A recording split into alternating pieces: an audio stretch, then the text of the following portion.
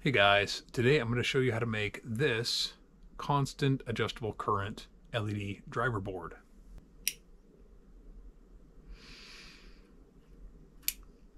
I'll show you the schematics and the PCB layout. We'll take a look at it in the lab. If that sounds interesting, stick around. I'll show you how to make it. So this board is meant to take in 5 volts USB power and output. In this particular case, I have eight 2.8 volt LEDs in series in four rows. So it boosts to upwards of around 24 volts. I have this potentiometer with an on-off switch. The on enables the boost converter and as I adjust this, it varies a 10K potentiometer which sets the gain in the current sense feedback. So let's go ahead and take a look at the schematics first. All right, so let's briefly look at the circuit schematic. We have a boost converter over here and some sort of amplifier circuit over here. And if you've never made a buck or boost regulator, um, this is generally what they look like. An inductor, diode, some input capacitance, output capacitance, some resistor capacitors to set some things and provide some comp compensation. And then there's generally some way to feed back into the controller to control the output. And usually what that is, is, you know, on your output, you'll have a voltage divider that'll make a voltage uh, in this case, it's 1.229 volts. And the this controller will do whatever it needs to do to keep this voltage at 1.229 volts.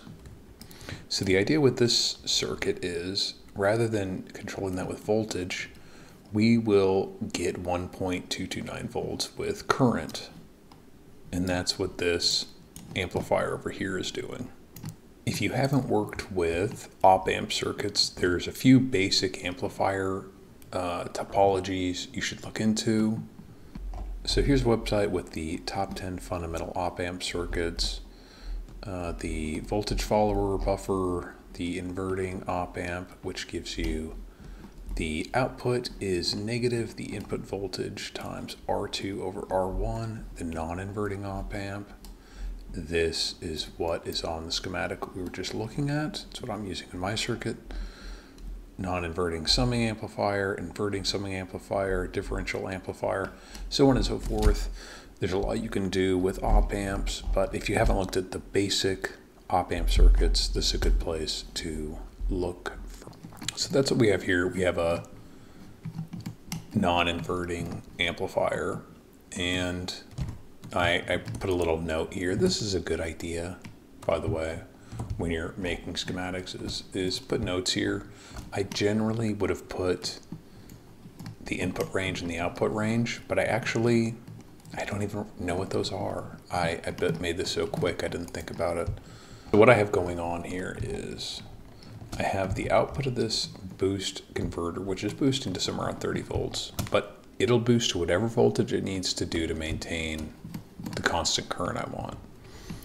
Anyways, it's boosting to around 30 volts. It's going to this connector.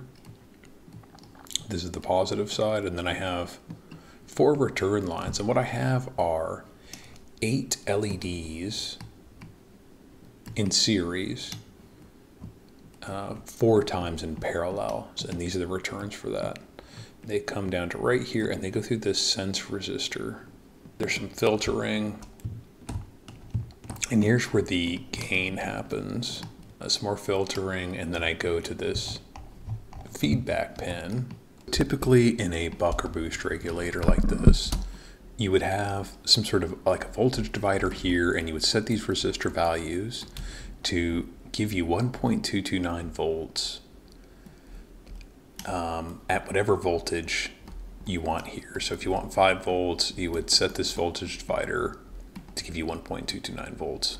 We are doing this in current mode. And we're using this sense resistor. So let's suppose that none of this um, circuit is here. All we're doing is using this um, sense resistor to feed back over here, measure current, and um, work everything out that way. So we need 1.229 volts here. Let's say I want one amp. I want a constant current of one amp. Uh, 1.229 volts divided by one amp. That means I would need a, at one amp, 1.229 ohms. That would give me the voltage I need for this circuit to work. Now, what's the problem with that? Uh, what's the power dissipated here? So now we have one amp here, and we have 1.229. Uh, that is 1.229 watts dissipated right here.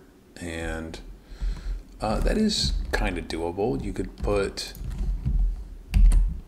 a bunch of resistors in parallel and have a bunch of copper and you can dissipate one watt on some resistors.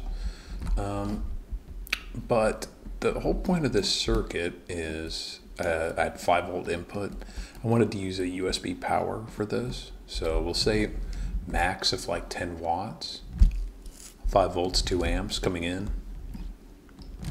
I don't really want to waste 1 watt over here 10 watts of LED power is, is quite a bit. 9 watts is, um, you know, not bad, but it's, it's, it's significantly less.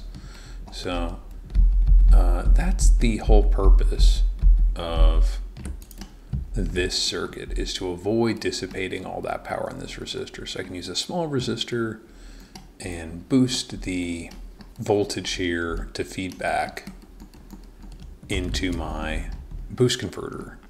And it also provides another benefit. I want to make this LED driver circuit, I want to make it dimmable. And the way I'm doing that is I'm adjusting the gain because you can see R14 here. The gain is 1 plus R10 over R14.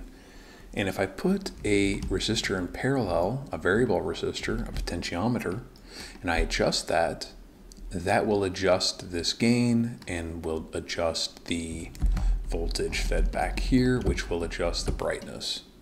There is still a little bit of power dissipated here, so you know, make sure your resistor can dissipate that power. Um, yeah, nothing particularly uh, special here. Let's look at the PCB. So here's the PCB. It's pretty simple. It's two-sided. Here's kind of the layout. I've got the input 5 volts ground coming in here through my inductor through this diode. Here's my connector going out to the LEDs. So 5 or in this case somewhere around 30 volts goes out. Here's my return paths. These resistors are in case uh, I need to do any adjustments. I have a switch over here uh, where is that? I have a switch right here to enable this circuit. So I can leave it USB plugged in. And when I flip that switch, it enables this and turns everything on. And I have the inputs for my potentiometer over here. That's not a board mounted, it's uh, those are wires going to that. If you haven't laid out a buck or boost converter, a couple things uh, you really want low impedance paths through your your power nodes. You want to keep everything very tight. So over here we have the sense resistor and you always want to route your traces back from your sense resistor like this. Uh, and what that's doing is it's keeping this out of the um, power paths. Let's take a look at the data sheet for the boost converter really quick. Okay, pretty typical data sheet. They'll show you, you know, your basic circuit to build with this and see right there, there's your voltage divider feedback, pin out, eh, block diagram. Like, you, like I was saying, you know, there's your 1.229 volts. There's your error amplifier, which drives your PWM control, which drives the switch, which sets your voltage. And they're going to show you an example circuit. And hopefully they will show you, I didn't even look at it here. Okay, so they don't really show you a, detailed layout, but they will say, they'll show you a layout example and they're going to show you the most important things you need to keep in mind. Bypass capacitor, put it close to pin 2. Okay, so always, always reference this when you're laying out your board. So let's turn this on and probe around a little bit. The first place I'm going to probe is between the output of our regulator and the return to the top of our series resistor. So basically across all these. When we first turn it on at low current, we have pretty significant ripple and that starts to go away as the power goes up. And right about here, you'll notice an audible ringing on the regulator. And that sound turns off right about there. So our voltage goes up not too much. Interesting numbers here. So our voltage across the LEDs. Now keep in mind this is eight LEDs in series in four parallel rows. So we go from 20 volts to, we'll crank it all the way up.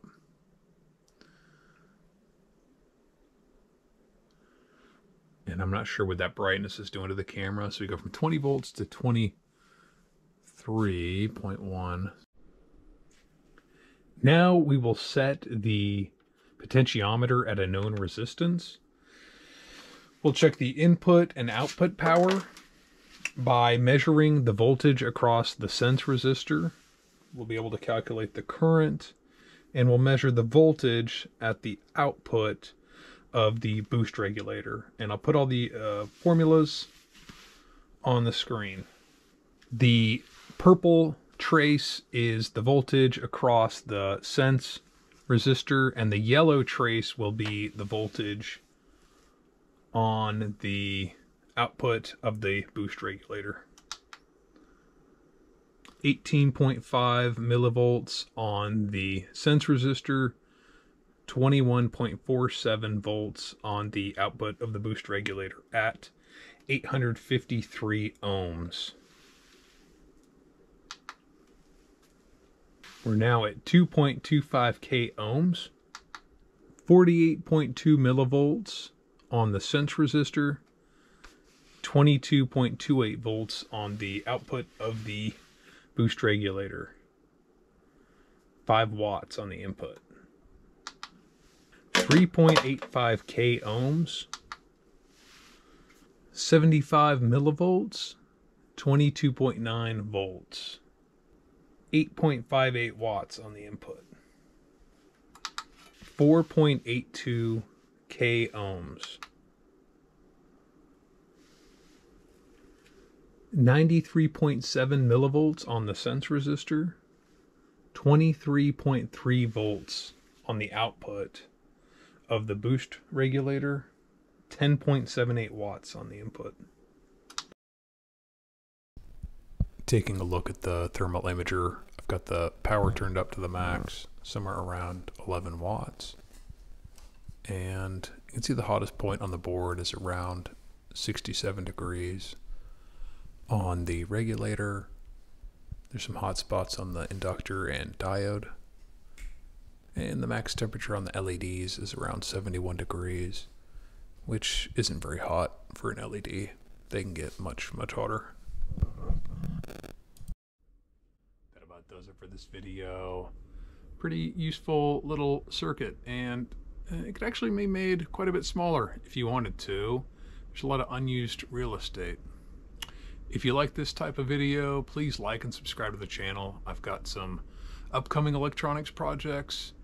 I've got a 600 watt buck boost converter that I'll be running two of those in parallel. I've got a flyback converter that I've been working on for a little bit. So thanks for watching and I will catch you guys later.